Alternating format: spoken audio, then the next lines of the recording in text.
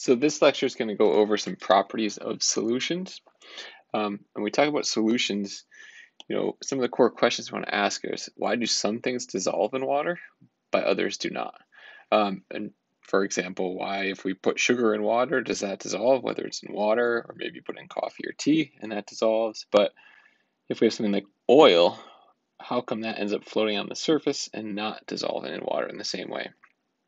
And what we're going to see, one of the key points of this is the extent to which different substances dissolve in each other is determined by how well different molecules can interact with each other. So really, we're all coming back to intermolecular forces of attraction. Um, but first, um, some definitions of things. So what is a solution? We can define solution to be a um, homogeneous mixture of solvent and solute.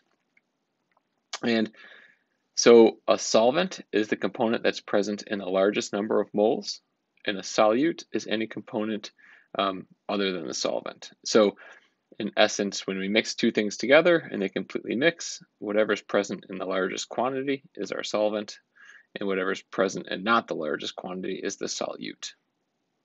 Um, we can show a picture of that. So sugar and water.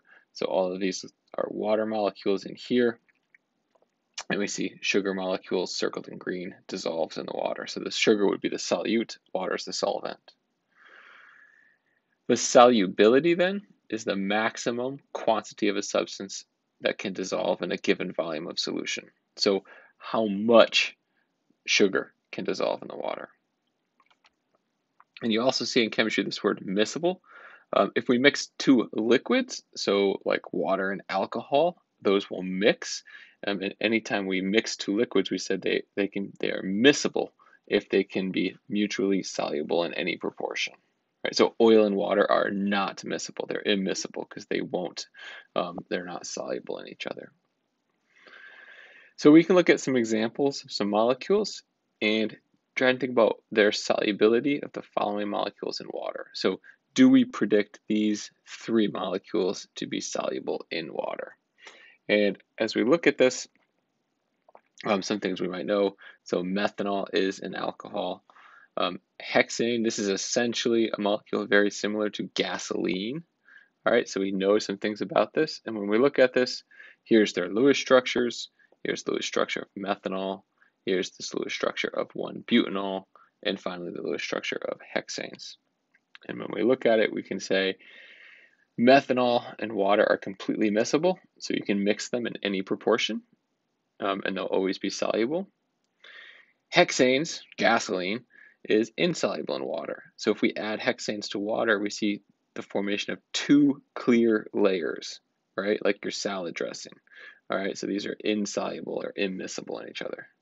And in between, we have 1-butanol. And if you look at 1-butanol, we can see it has part of the molecule that looks like methanol and a part of the molecule that looks like hexanes.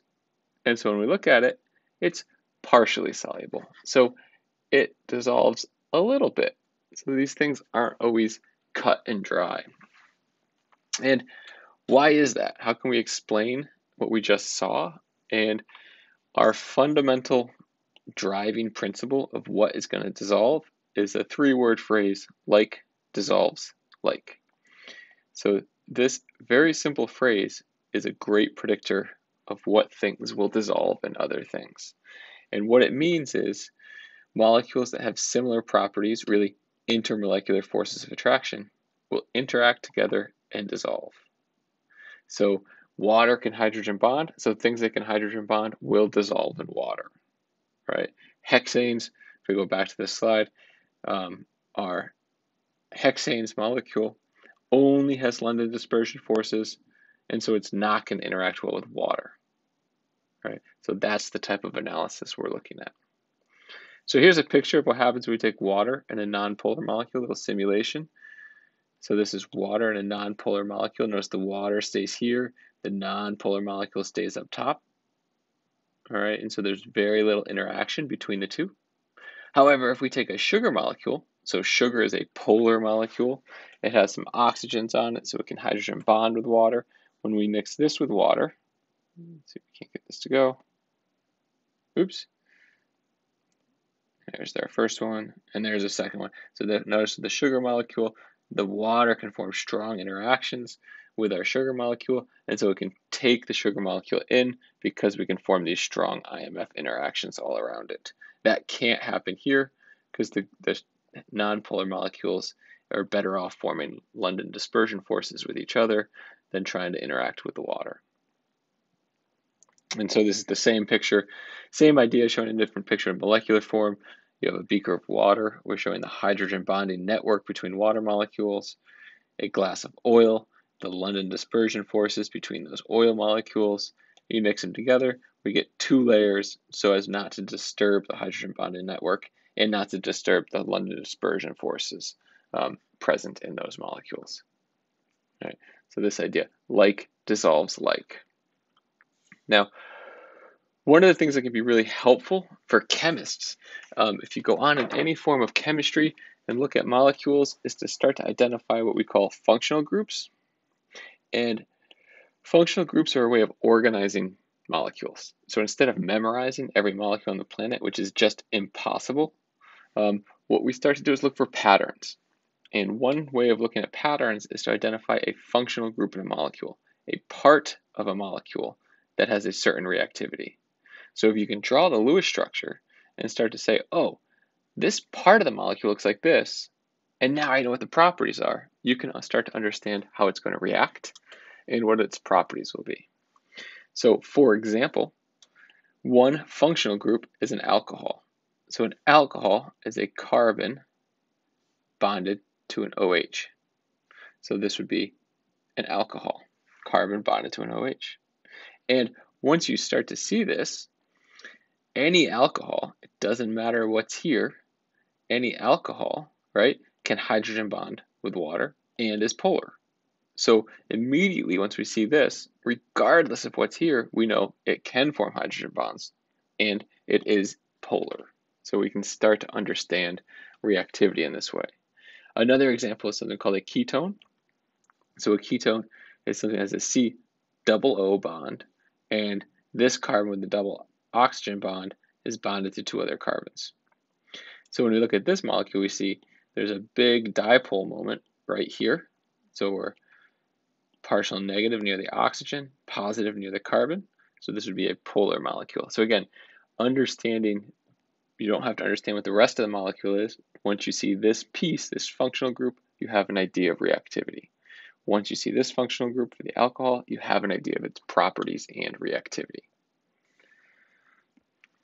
Okay, so we can look at some tables. So this is taken from a textbook. Um, explain the solubility trend of the following ketones in water. And what we're seeing is a bunch of molecules, 2-propanone, 2-butanone, pentanone, hexanone, heptanone. Their structure shown here, and its solubility in water. So let's look at what's happening. We're starting off with 2-propanone. We have a ketone with two carbons, and then we have a ketone with carbon on one side, and then one, two carbons, and then a ketone with one, two, three carbons, four carbons, five carbons. So as we go down, the only thing that's changing is the number of carbons on this chain. As we go down the table, the we start off with something that's miscible in water. We'll mix completely with water to something that's pretty soluble in water, right? We can get 25 grams per 100 milliliters of water. And then not very soluble in water, less soluble in water, and basically not soluble in water. So as we keep adding carbons, the solubility is going down. So what's going on here? Well, what's happening is we're seeing this molecule has a polar piece, right? And that's dominating the intermolecular forces of the molecule. So this will interact very well with water. But as we go down the table, we start making this part of the molecule longer and longer. And this part of the molecule can only do LDFs. So as this portion of the molecule starts to dominate, the molecule starts to be more and more hydrophobic or water fearing, right? And so this dominant portion of the molecule starts to control the intermolecular forces of attraction. When the molecule is small, the polar portion of the molecule, that ketone, dominates. And so it's going to interact well with water. And we can use this to start to understand um, reactivity of molecules. So we can think about things like vitamins. If you've studied nutrition, think about vitamins. So here's some structures of two different vitamins, both in a model form and a Lewis structure form, model form and Lewis structure form. So we have um, this one here is vitamin C, and then over here we have um, vitamin A. And what we see from these is we often talk about vitamins being either fat soluble or water soluble. And what this is referring to is where does the vitamin go in your body? When you eat the vitamin, where is it stored? Right? And so when you think about that, um, where it's stored has to do with its molecular structure. We can see a fat soluble is hydrophobic. So if you look at this molecule, lots and lots of carbons and hydrogens. This is a very nonpolar molecule that can only do London dispersion forces. It has a tiny polar group here, but majority LDFs only. So this is going to reside in our fat of our body, which is all a nonpolar London dispersion force area. Whereas something like vitamin C, right? So vitamin C is a very polar molecule. We have a polar group. We can start to identify polar, polar, polar, polar, right? Polar, polar, all of these polar bits make it hydrophilic, water loving. And so this is going to reside in the in water in our body, right? And so this that, that's the idea of water soluble versus fat soluble. So after this lecture, I encourage you to work through the worksheet that will come next and look at that, try it first, and then watch the video. Thank you.